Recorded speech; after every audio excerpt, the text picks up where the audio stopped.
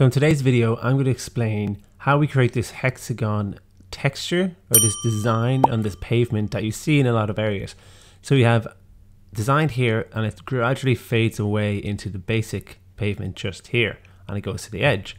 So I'm going to jump straight into it and tell you how I created this scene. So the scene itself is composed of, some forest uh, planting like this tree and this grass. We have some benches and then we have some people just scattered along the side. Now the area we're going to work in is just here. So if I go to my rail clone object, is which is what we're going to be using to scatter this object. In here I have my splines that I'm going to be using, which is here, this is the spline. And then also here I have this master surface. So we're going to be using this as the surface that the hexagon shapes are going to stick to.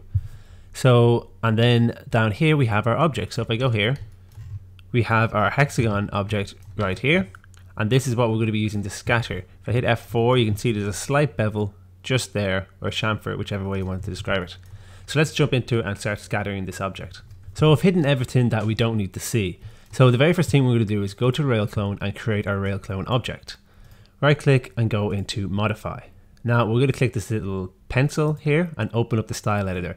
And when you're creating these, most times you'll need a segment, you need a spline, and if you're using a, a surface that is on a different level or it fluctuates, you're going to need a surface. So now let's select the object. So I'm going to select my hexagon shape here. I'm going to select my spline and I'm going to select my surface. Once I have all those selected, we aren't going to use the linear array 2s. In Railclone, they actually have one in here. So if we go to generators, and we go to it's actually on floors it's not in pavements whichever it doesn't really matter. And we have a hexagon floor macro and we're going to click and drag this in. Now once we bring this spline in here to our clipping area so now you're going to put your object into the segment. Now if I zoom in here it's going to look a bit funky but that's only because it's on adaptive to save your frame rate. So and if I click mesh you're going to see we have our actual mesh now I'm going to go back to adaptive and the one thing we need to do is we need to put this onto a surface. But if you click here, you'll see there are no surface options. So we need to click this, right click, macro, edit. Then we go over here. We have a surface here. We need to pop this out, macro, and then click input. So now we have an input. Go back to our top level. And now you can see we have a surface. So we can get this and plug it straight in there.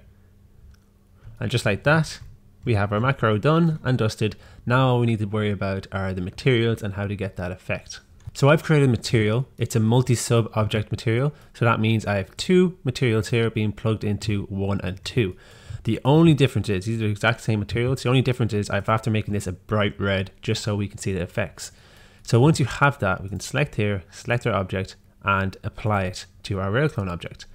Now, if you hit render, this is what you're going to see we're not going to see that other material come true. So we need to go back to railclone macro and change some things. So back in our railclone object, we need to tell this object to use two different materials. And to do that, we need to go to material ID and drag this out.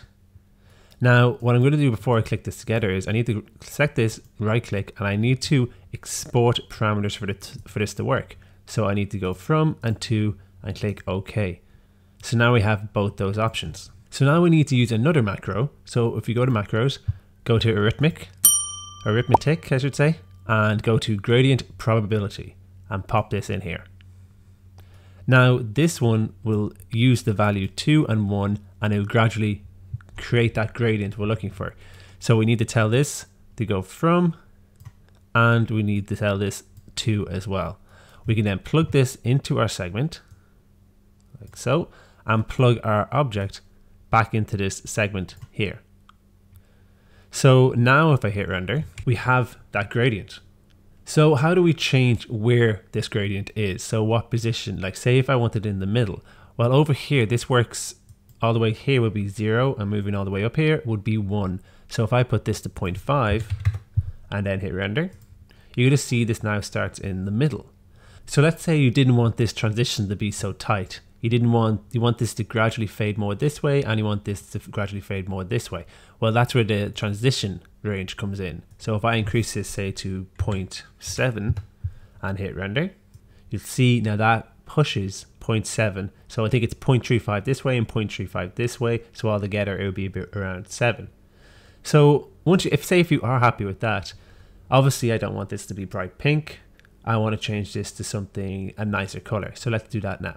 So to change this color, we need to go back to the material. So what I'm going to do is I'm going to actually delete this and I'm going to plug this back into my diffuse. So if I was to render this, we're just going to have the exact same material. So we don't want that. So luckily Railclone comes with a great uh, map. So if I go to maps, general and go to Railclone, color, we have this map which can change the color from a, with a gradient color. So what do I mean by that? So first of all, what I'm going to do is I'm going to go over here. I'm going to plug this map into our default, plug this into our map one, and then I'm going to plug this into our diffuse.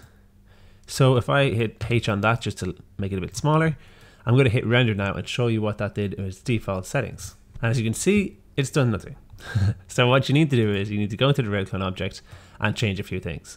So if I, I switch this on, we have that. Then scroll down and hit enable here.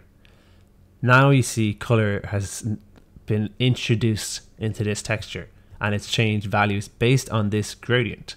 So you can change this to whichever colors you want. You can change it to color. You can also change this to say multiply and you get everything darker kind of look. So if we were to keep this on, let's say color, we could then change this say to something like white here and black at the top and click OK and then switch this to multiply and then you get that kind of look. So you can change this to whatever color you want. The one thing I would say is you mightn't want to have ones that dark. So what you do is you select here and you just bring this down ever so slightly to something that's not completely black. You could also, if you wanted to go to the white and bring this up a bit so it's not completely white, and then you get more of a natural look to it. And that's pretty much it. So if I unhide everything and now hit render, and once you hit render, this is what we have. So you have this nice gradual fade off, you, you could call it, from this heavy texture here, eventually fading to the natural color in here. And that's as easy as it can be. And if you want to get creative, you can even do something like this, which I did earlier, and you get a bit of curl. It's a bit crazy, but it's just something you can do. You could get in a different texture on this side, gradually fading away, and the other texture takes over on this side. I hope this has been helpful and you can not you can use it for other things. It, it's not just the hexagon. This is just one implication I thought would be pretty good for. So I hope the video has been good and maybe go ahead and make one yourself.